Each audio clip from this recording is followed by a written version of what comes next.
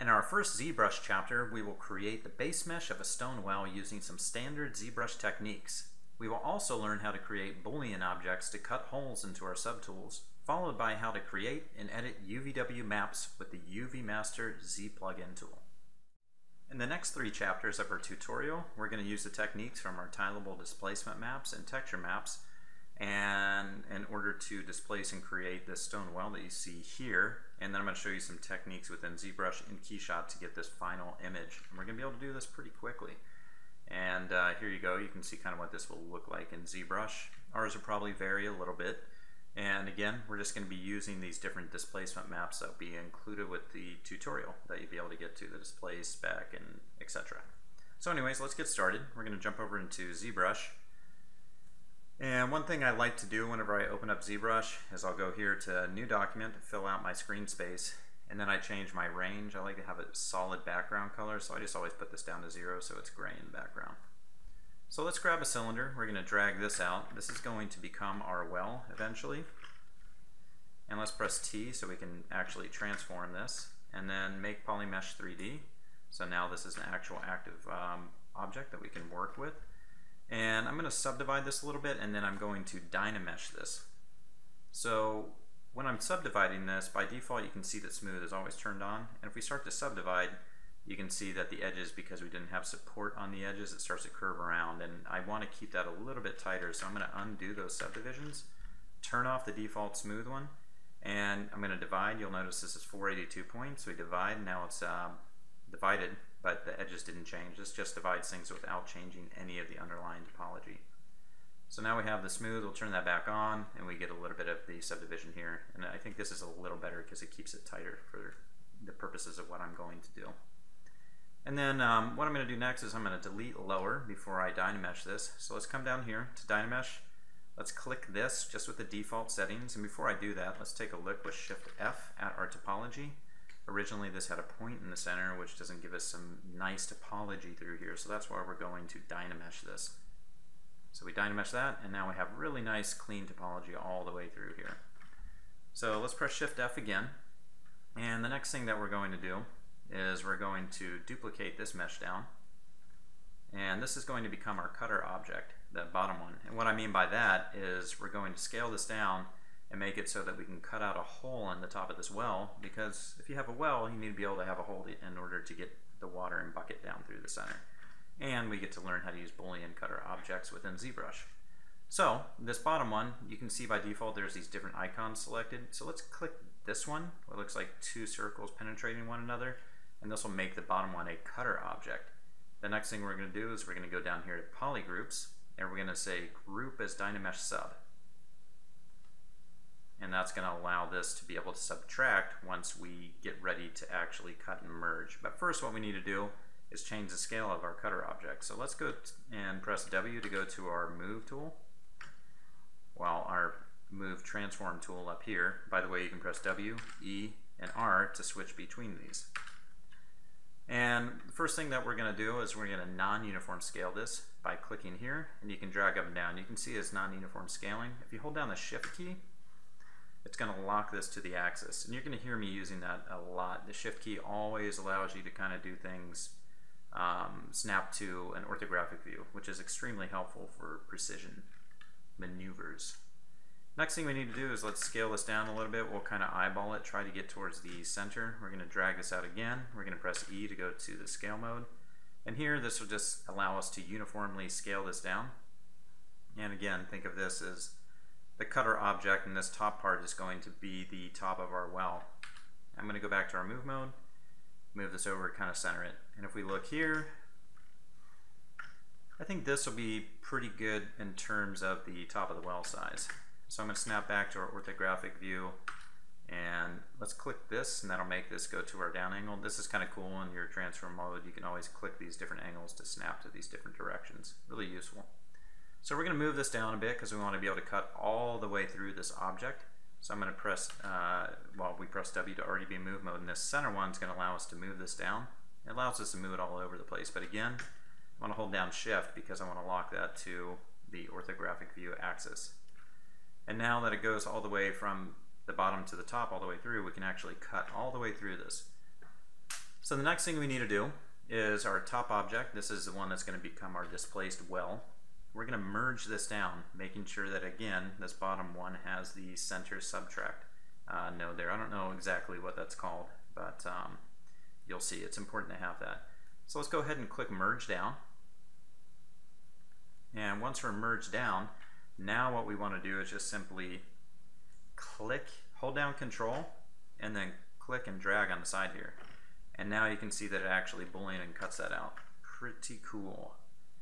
And the other thing that's pretty awesome about that too, for those of you know how polygroups work, if we press Shift F right now, you can see that it puts a different polygroup on the interior, which is pretty useful for one of the next steps we're going to be doing where we create UVW mapping for this.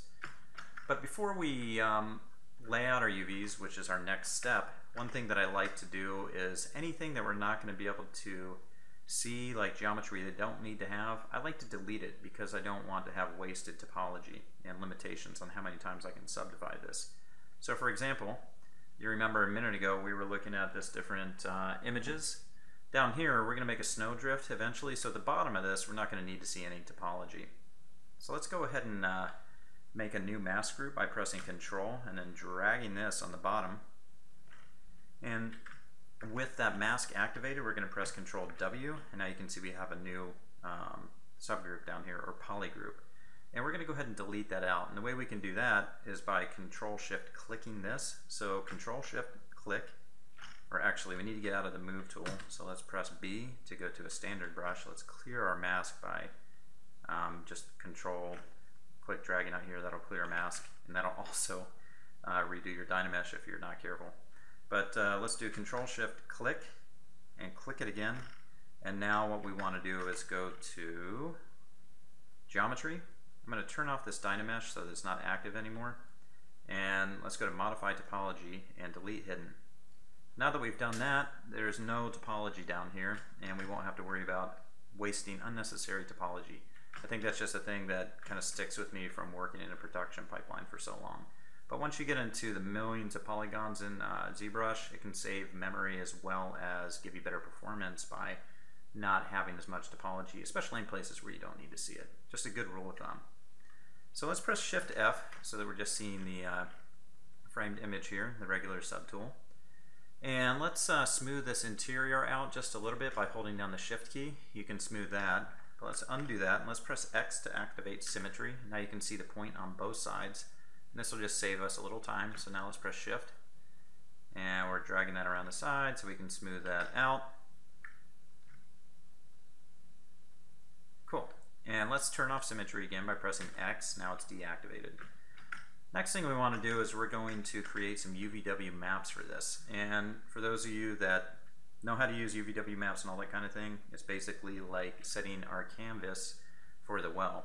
And remember that we have those um, maps from earlier that are kind of these elongated pieces. So in a minute here, you're going to see me make UVW maps that kind of match a rectangular shape that's similar to this. And that's going to be important for us when we're displacing.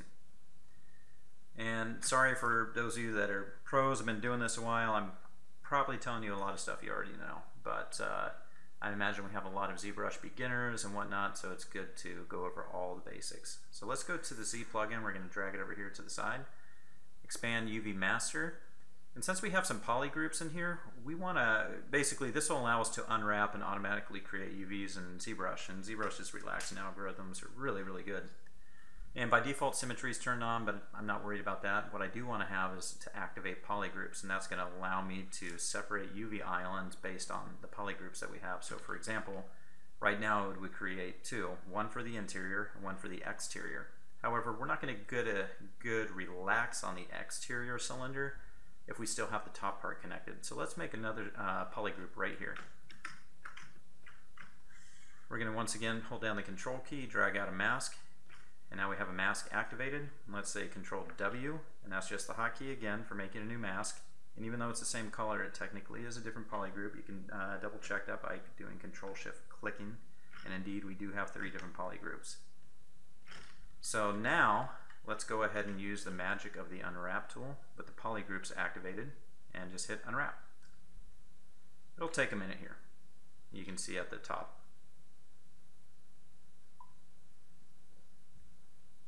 And it's good to do this without too much topology. Like once you get up into the millions of polys, you can crash ZBrush depending on what type of graphics card that you have, etc., and how much RAM. So anyways, it's good to lay out your UVs before you do lots of subdivisions. So let's check this out. Let's go to flatten. And now you can see the flattened view of our mesh based on this kind of squared UV coordinate system. And it's already laid out pretty nicely where, remember the way that we have the bricks, or sorry, stones laid out horizontally? It'll kind of play on here really nicely. However, this is a little bit crooked and it's honestly not the best use of all our UV space. And I want to show you guys a cool thing that a lot of people don't know about. So in ZBrush, um, even in this view, you can adjust the UVs. So these are separate polygroups. So let's um, Control Shift click this one, and that'll isolate just this guy. And then we're going to press W to go to the move mode, just to get the transform tool. Let's drag that out, and let's go to R, and we're going to rotate this a bit because we want to straighten that out.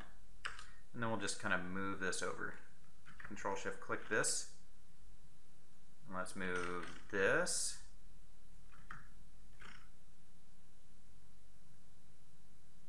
Alright, cool. And this one I think is going to be pretty good. It'll flow along with our UVs pretty nicely. We're going to Control Shift click this one and move this guy down too. And let's rotate this one just a bit as well. We're going to drag out a new piece and then, oops, make sure it's not on scale. And here we go, we got this rotated nicely. So now we got some nicely laid out UVs going in this direction. So let's unflatten this.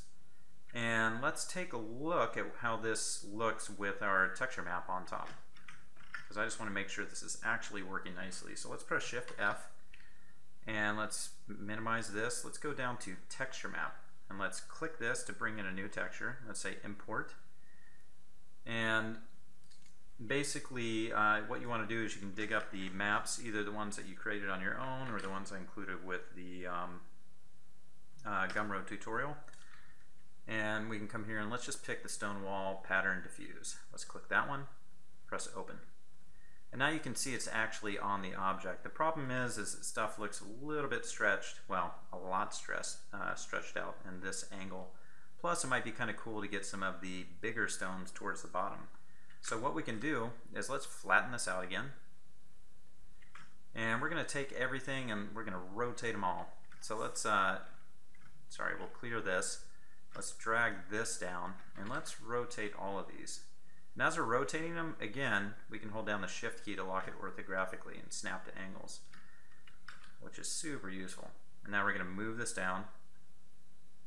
And actually, that's what we had before, huh? So let's um let's re-rotate that again.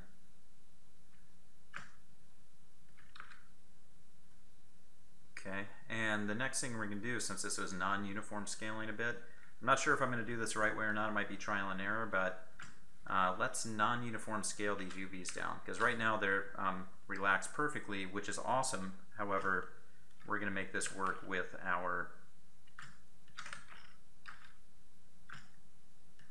our maps that we already have. So let's see what happens with this. Unflatten, and that's really, really stretched. So let's flatten it one more time, and what we need to do is stretch it the other way. Yeah. Okay. We'll go something like that. Let's unflatten one more time. And now we have something that's looking pretty good. But again, we still have our big ones up top. So one more time, let's flatten this.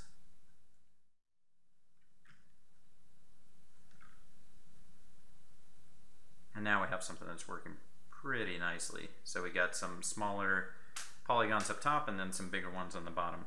So let's go ahead and wrap this chapter up, but you get the idea of how we can quickly create the base meshes and all this kind of stuff. And the next thing we're going to do is actually displace this. So I'll see you in just a second in the next chapter. If you like this video, the entire tutorial is available for free on Gumroad. Click the yellow Gumroad pop-up box below and you can download all five HD videos for this tutorial series. Additionally, I've included everything that I demonstrate in the project, such as the maps that you see here, like this diffuse, displacement, spec map, and even my bump map.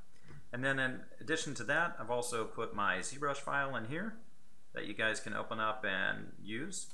And finally, I've uh, included the keyshot file. So whether you want to create everything yourself or use my maps and files to follow along, everything's absolutely free. And as usual, thank you guys so much for watching these tutorials, and I hope you learned a few valuable tricks. Until next time.